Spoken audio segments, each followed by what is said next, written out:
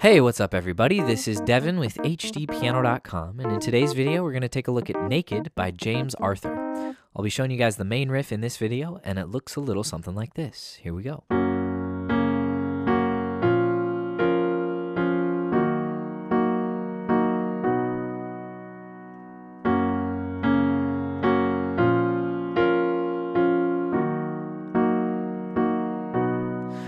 All right, so we'll get through that much in this video, but I'll be, you know, I'll be showing you all the specifics for the verse, the chorus, uh, the pre-chorus.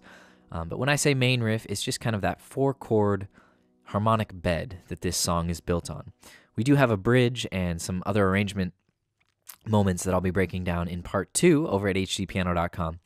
But this video will get you through a majority of the song, no doubt. All right, so before I dive in and start breaking this down for you guys, a quick question. Um, when I see the word naked, I, just, I don't know, I kind of think of that elementary school nightmare of showing up to school with uh, no pants on. And I'm just wondering if any of you guys can relate. Did you guys have the same nightmare as kids, or were you scared of different things like monsters under the bed? I'm not too afraid of the dark, but I did have a fear of showing up to school with no pants on. So comment below with your childhood nightmare. Okay, we're in the key of G flat major, and we've got a very, you know, simple piano part here and it's a very common way of you know playing pop music. I call this the pop clave this rhythm. All right, so 1 and 2 and 3 and 4. So beat 1, the end of 2 and beat 4.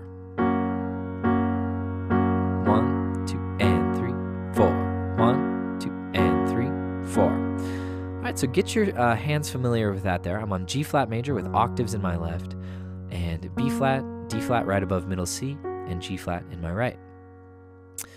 So this is our home base, our major one chord. And check out the piano part for the first measure. All right, so we start with the full chord, and then we remove the G flats from each hand on top, and then we just simplify. Take our left hand down to D flat, and uh, reduce our right hand to just B flat and D flat, and then return to G flat. Okay, then we go to B flat minor, B flat and F in the left, D flat and F in the right, and get your pinky ready to play a B flat above that. Right, so the right hand just caught that middle B flat and came back down for the two on beat four. E flat minor, E flat and G flat in the left, B flat, E flat, G flat in the right. And again, we're just going to stay in this position. And we're going to hold, in general, we're going to hold the bottom note in the left hand, the root of each chord, and play the pop clave with all the remaining notes. Like so. Notice that E flat holding on the bottom. And then we get to uh, B major or C flat major, and we play C flat and G flat in the left, C flat, E flat, and G flat in the right. That's our four chord. Right, so we have one major, B flat minor, three minor, six minor, E flat minor, and four major. All right, so I'll slow it down and play through those four measures one more time. One, two, three, four.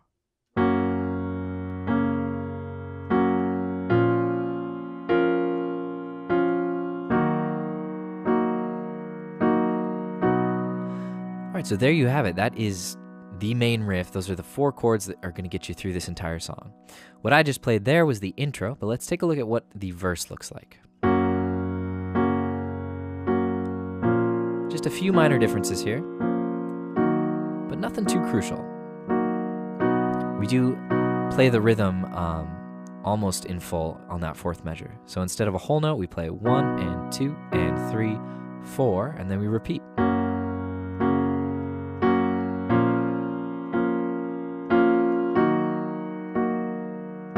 Again.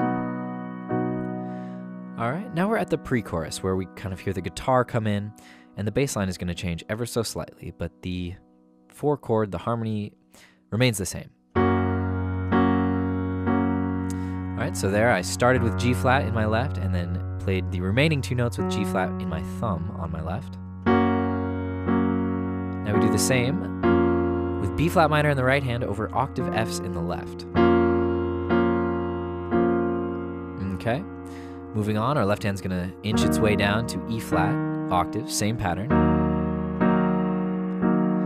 And this is a new E flat minor voicing with G flat, B flat, and E flat in the right hand. Okay. And let's see, what's next? Uh, C flat. So our left hand's gonna go all the way down to this low C flat. And again, octaves. We play the bottom note first. And we come back up and do it again. B flat minor over F, E flat minor over E flat. And then before the chorus, we're just gonna hold C flat like we did in the intro. Okay? So there, we've got the intro and the verse and the pre-chorus so far. So let's just take a peek at the chorus and see if anything's different.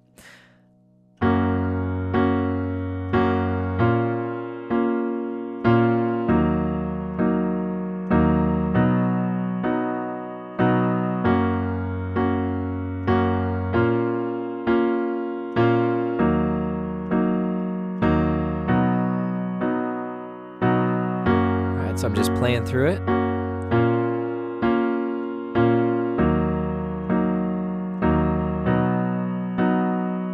Last time.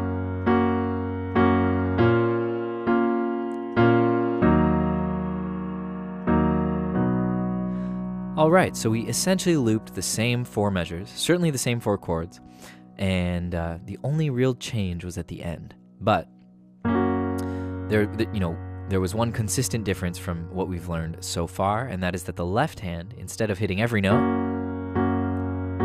is going to hold through the first two chords one, two, and three, four, and then play again on beat four. That kind of adds some some movement on that fourth beat to get us into the next chord. One, two, and three, four, one, two, and three, four, one, etc.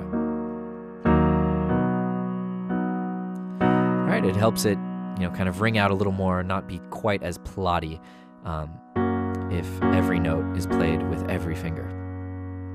Okay, so what did we see at the end there? Well, we, on our final loop, we have G flat, B flat minor, and then we get to E flat minor, and we just hold it for the first three beats. One, two, three, and then play it again on beat four, four, and one. We land on C flat for the final measure. And it's a slightly fuller voicing G flat, B flat, E flat, G flat in the right. So one, two, three, four, one, two, three, four. Okay? That's pretty much all you need to know. That's the main riff. That'll get you through almost the entire song.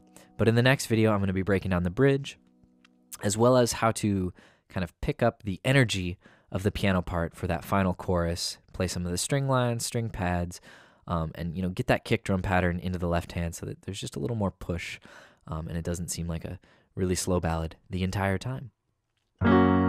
All right, well, that does it, guys. Good work.